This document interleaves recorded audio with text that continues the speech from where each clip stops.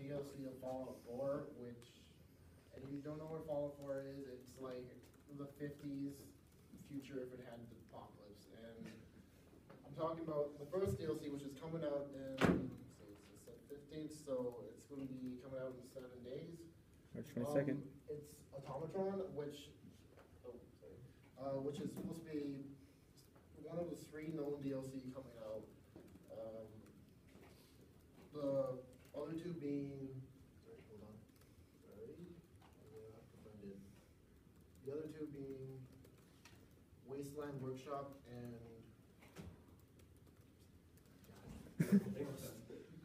Poor Alan.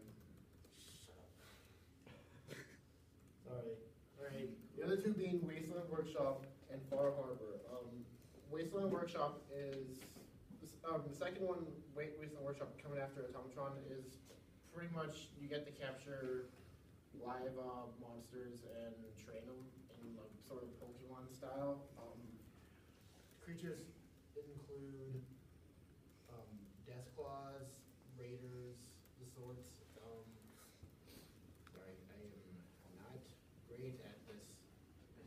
Okay, Death Claws, you get to train in the Pokemon arena battle, but, you know, to the death, so, you know, awesome. And the second Harbor, which is pretty much more story-based, involves you, uh, working on a detective case and, uh, going to an island where you have to find a missing girl full of like robots.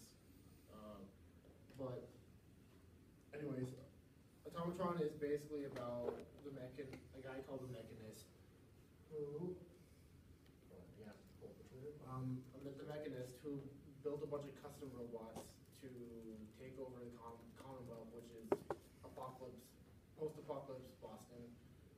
And basically in the game, you get to customize your own robots as companions, uh, in any assortments. I mean, if you wanted to, you could, you could give him li- little teddy bear head, that's not a good photo, but, but yeah, you can give him whatever customization you want, it's all, all sorts of options. Um, you give him, you give a, you give a Tectron or Sentry Bot, you give color him pink, um, doesn't really matter, it's your choice.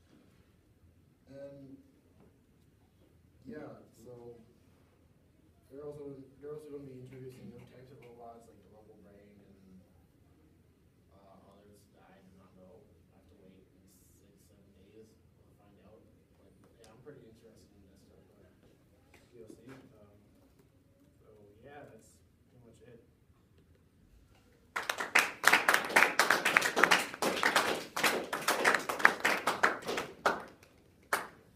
Hey Darian. Hello. Look on the screen, and, and Darren, look on the screen. God, Alan. You can unplug your computer Yeah. anytime. Yeah. Anytime. Yeah.